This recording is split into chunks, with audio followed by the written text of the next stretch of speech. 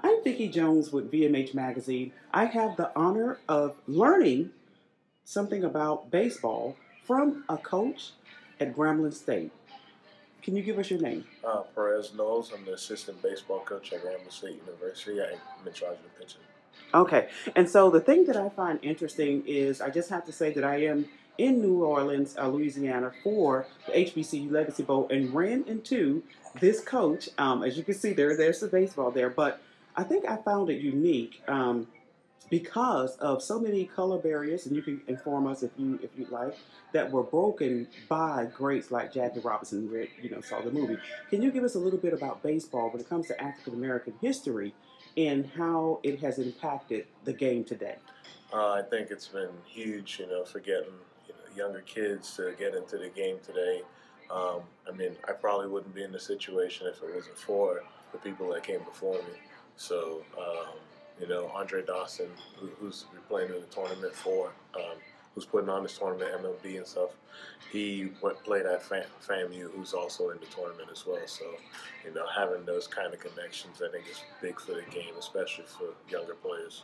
Okay, and can you share with us your name and again your position and Um, the school? so my name is Perez Knowles. I'm the assistant baseball coach at Grambling State University, and uh, I'm in charge of the pitching. In charge of the pitching. Okay, great. And so um, the coach that you were referring to, he went to FAMU. Can you give us a little bit about him?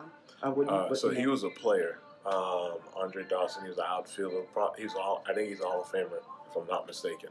So um, you know, I think there's been. I mean, great. You know, Grambling coach. his name he's- again? I'm sorry. Uh, coach Wilbert Ellis. Okay. He started the Grambling baseball. Uh, he was one of the second coaches, I think, in the Grambling baseball program, and he was one of the one of the most successful with ones. you. And thank you for speaking with me. I appreciate it. I think the reason why I wanted to speak with you primarily is because most student athletes, um, the number one, at least from my understanding, the number one professional uh, game that they lean towards is uh, football. But baseball um, also is opportunity Right. based on what I'm seeing and what you're saying, what you're sharing with us. You know, Can you elaborate? Um, baseball's been one of those sports for me, especially um, being from the Bahamas and um, knowing that there's also a lot of doors in baseball, not only playing, but um, you know, going through the sports journalism or statistical uh, analytics, uh, coaching, scouting.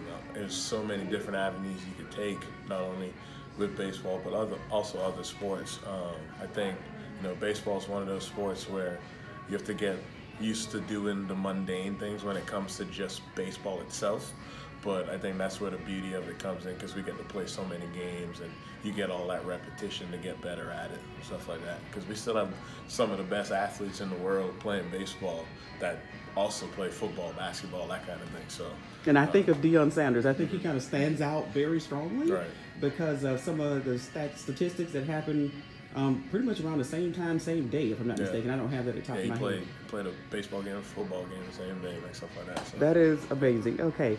Well, anything that you'd like to say in terms of a little bit of inspiration for student athletes when it comes to choosing sports? Because I did hear you uh, speak about it's not just even uh, or just uh, playing the game. There are other things around it that could be great career, career moves. So, any inspirational words that you'd like to share, share with any student athlete as far as that concerned? Um, I think just explore every avenue that comes to mind or that you even don't know.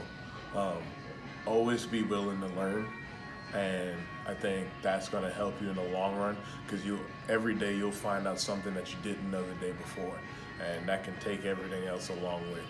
One more thing. The tournament, you're here for that Louisiana. How's that going? Uh, we haven't started playing yet, but we play tonight on MLB Network actually against Alabama State at seven o'clock Central. So if you can tune in, tune in. It'll be a good game for sure. Okay, and then and the name of the team one more time. I'm Uh, sorry. Grambling State University, and we play against Alabama State University tonight. So Thank you so much once again. no problem.